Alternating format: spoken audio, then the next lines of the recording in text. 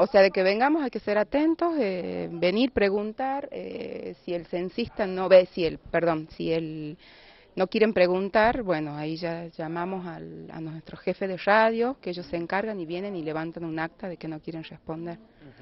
Y si hay algún disturbio o algo, ya la policía está a disposición de nosotros y llamamos y ahí nomás vienen.